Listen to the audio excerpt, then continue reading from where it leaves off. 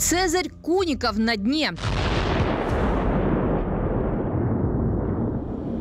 Украина уничтожила один из главных десантных кораблей флота РФ – «Цезарь Куников». Он не пережил встречи с украинскими морскими дронами «Магура-5». Корабль атаковали сразу несколько дронов. После удачного попадания «Цезарь Куников» получил критические пробоины и начал тонуть. Фактически он упал на левый борт и пошел ко дну. Интересно, что корабль назван в честь офицера советской армии Цезаря Куникова. Он погиб 14 февраля 1943 года. Большой десантный корабль также отправился покоиться с миром в День всех влюбленных. Не зря говорят, как корабль назовешь, так он и поплывет. Не было бы счастья, да несчастье помогло.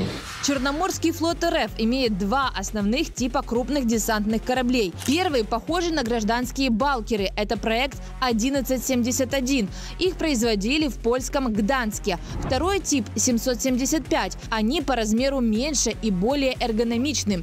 Их удобно использовать для проведения десантных операций морской пехоты. На борту можно разместить до 14 БТР и до 120 человек. Конкретно к такому типу принадлежал Цезарь Кур Куников. Его спустили на воду в 1986 году. С этого времени он стал основной рабочей лошадкой Черноморского флота РФ.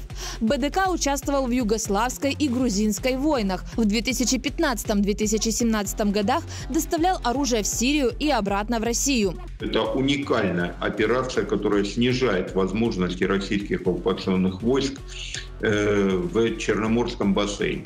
И не случайно после потопления Цезаря Кунникова приняты кадровые решения в Российской Федерации, а именно устранение должности командующего Черноморским флотом. Примечательно, что в начале полномасштабного вторжения России в Украину корабль готовили к десантной операции в Одесской и Николаевской областях. Но после провала «Цезарь» начал исполнять логистическую функцию. На нем доставляли военные грузы из Новороссийска в Севастополь и Бердянск.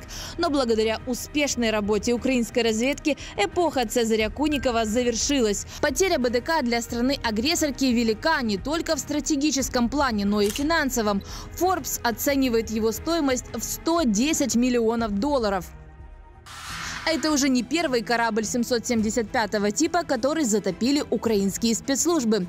Первым пошел на дно Новочеркасск. 24 марта 2022 года в Бердянске его повредили ракетой .у, а уже 26 декабря полностью уничтожили при помощи Шторм Феодосии.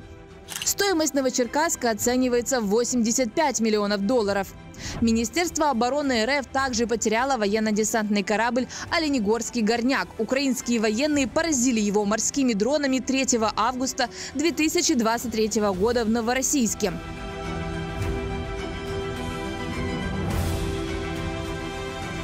На нем террористы перевозили военный транспорт и грузы в оккупированный Крым.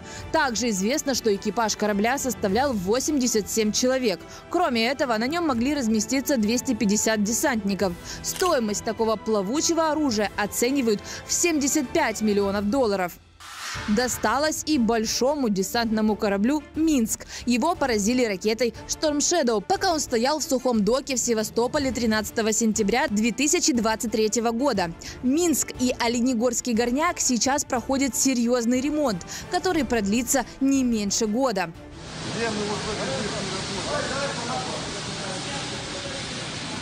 Также в марте 2022 года в порту Бердянска ракетным ударом ВСУ уничтожили корабль «Саратов». Это был первый БДК, зашедший в оккупированный порт и доставивший военную технику для российской армии.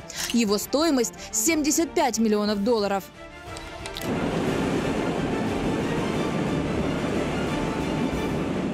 Всего Украина уничтожила уже пять крупных десантных кораблей Черноморского флота России. Их общая стоимость 305 миллионов долларов. В РФ осталось еще два БДК. И ходить, скорее всего, им осталось недолго. Любое плавсредство Черноморского флота является законной целью вооруженных сил Украины. Поэтому данная плановая работа будет проведена и в дальнейшем. Украинская сторона создала уникальный исторический прецедент, когда страна, которая не владеет флотом, нанесла решающий характер поражения стране, владеющей вторым по величине тактико-техническим характеристикам флота в Черноморском бассейне. Украинские спецслужбы обстреливают военно-морские силы РФ не просто так. В настоящее время десантные корабли являются резервным способом обеспечения российской группировки на юге. С каждой потерей у Москвы все меньше альтернативных логистических путей. И как только Крымский мост упадет, доставлять оружие армии оккупантов будет невозможно.